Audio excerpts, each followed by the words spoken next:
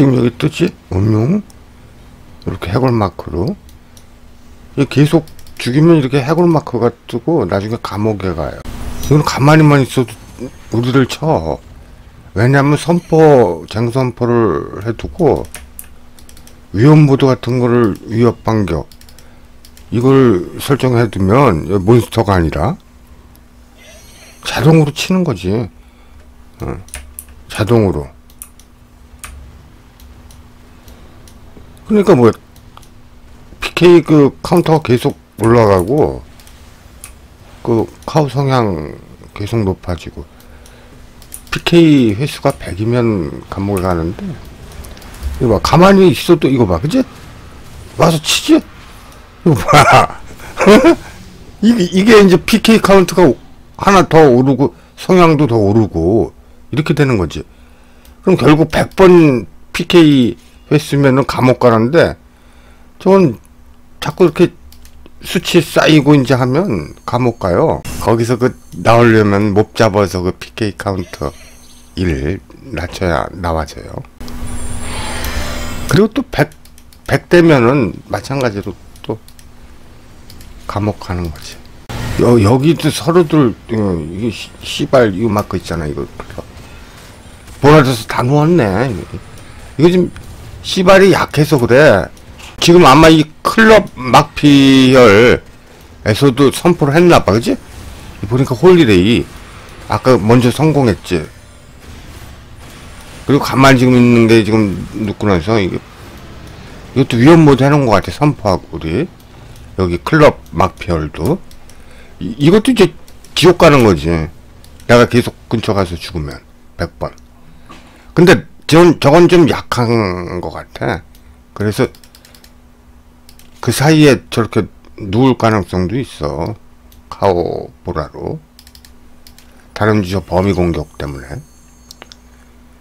그게 오히려 덕이 되는 거지.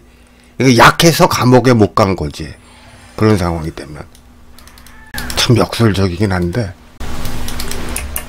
막피로스 약해서 감옥에 못 간. 그, 그런 경우가 되는 거지. 이거, 이거 봐, 그치? 이렇게 친다고 근데 데미지가 약해, 약해진 거야, 조금. 왜냐면 debuff 그 페널티를 먹기 때문에 성향이 높아지는 단계마다, 그 특정 단계마다. 이 제조 막피들이 보통 게임 시스템 같은 거 잘 아는데, 아, 이렇게 그 선포한 상태에서 왜 이렇게 위협 반격 모드를 해놨지? 이거는 무조건 이렇게 부캐 같은 거 뭐 1렙, 1렙 캐릭이라도 혈가입 시켜가지고 이렇게 가면 주- 알아서 이렇게 PK 카오가 돼주는데 그지? 어이씨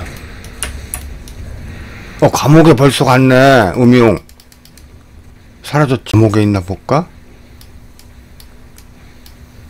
어디 갔어? 접속 종료인가? 리벤지를 한번 보고. 접속 종료네. 이게 지금 접속 종료하고 그 위협 반경 모드를 끈 것 같아, 음용. 급하게 아까 보니까 접속 종료된 이후에 다시 나타난 게. 근데 그렇게 하나 마나야 우리 혈에 쟁선포를 해놓고 이렇게 범위 스킬을 쓰면 어차피 이 데미지가 들어온다고 이- 이거 봐 그치? 예, 데미지가 들어오지 범위 스킬을 쓸 때 그지? 이렇게 그냥 따라다니기만 하면 손 하나도 안 대고 클릭 한 번만 해놓고 어 이거 봐 그치? 데미지 들어오지 이런 식으로 데미지가 훅 들어온다고 범위 스킬 쓸때 그 따라만 다니면은 범위 스킬 쓸때 이제 죽는 거지. 이- 이거 봐, 그지? 어, 시간이 좀 약간 더 걸리는 건데, 어차피 죽게 돼 있어. 어. 더군다나 1레벨짜리 뭐, 가입해서, 그, 이런 식으로 따라다니면, 그냥 바로 카오지 뭐. 쟁선포 상태에서는. 이 막피 제조들이 이렇게 게임 시스템이 어둡나? 지금 은 이게 선포해도 그 마찬가지야 그 카오 성향 그대로예요. 천뭐 400대 올라가는 거 똑같아 PK 카운트 되고 지금 이렇게, 이렇게 이제 그 쳐지는 게 장점이자 단점인데 스킬 debuff 같은 거 뭐 다 선포하면 들어가요. 그게 장점이지 그냥 쳐지 쳐지는 게 몹한테 치듯이. 근데 이제 이런 식으로 지금 사실 뭐 자동으로 쳐지는 거니까 선포당한 피선포 혈이 가면은 카오될 수밖에 없는 거지. 그지? 쳐가지고. 이거 봐, 그지? 이게 이제 보통 교전할 때, 그, 자동 틀어놓고, 텔포나 그, 뭐, raid 근처 대기, 교전 대기하는 상황에서.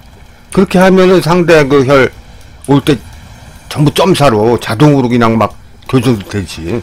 응? 그렇게 편한 점은 있어. 근데 뭐, 사실 그, 제주막 빛 혈이 이런 식으로 선포를 굳이 뭐 해서 지금, 그지? 이, 이렇게 손했는데 불리, 불리한 건데 굉장히. 감옥 가고. 작업만 누가 이런 식으로 계속 해주면, 시간이 좀 걸려서 그렇지. 이거 하면 무조건 선포하면은 불리해요. 지금식으로. 특히 범위스 스킬 그 이런 거 쓰는 캐릭터들 있는 혈 없을 수가 없어. 암살자는 다 쓰니까 대부분 이 세팅을 이 범위 스킬 해놓기 때문에 1레벨로 가서 그냥 이런 식으로 옆에 붙어 있으면 알아서 카오가 돼. 그지? 어.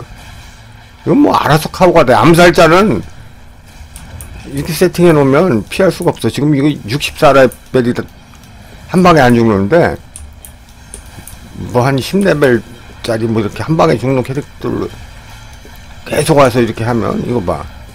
두 방에 죽어서 지금 시간이 걸리는 거지. 금방 100번이야. 그럼 감옥 가고 캐릭 뭐 못 쓰는 거지. 이런 식으로 살마귀 꾼열 살마귀도 그 저기 감옥 갔어. 우리 때문에. 근데 그거는 뭐 접속 지금까지도 안, 안 하고 있잖아. 살마기는 그 감옥 가고 난 이후에 접속을 하네요. 주식을 봐도. 접은 거지. 캐릭을. 뭐 다른 캐릭을 뭐 하거나 이제 그렇게 하겠지만. 이건 뭐 지금 음영도 마찬가지로 이제 좀 있으면 감옥이야. 지금 통제 막피 그 제조혈 중에 그 스나이퍼 혈 거기도 우리 선포했다는 건데 그것도 사실 이게 귀찮아서 그 지금 안 하고 카오만 지금 뭐 잡고 하는데 이런 식으로 자사 돌리는 캐릭터 가서 범위 스킬 쓰는 클래스 특히 이제 암살자 거기서 있으면은 뭐 이거는 뭐 다 감옥 보낼 수 있지 근데. 보고 있으면 어차피 안 치기 때문에. 이렇게 이제 자사로 완전히 그 하고 있을 때 잠수. 이럴 때는 뭐 무조건 걸려드는 거지.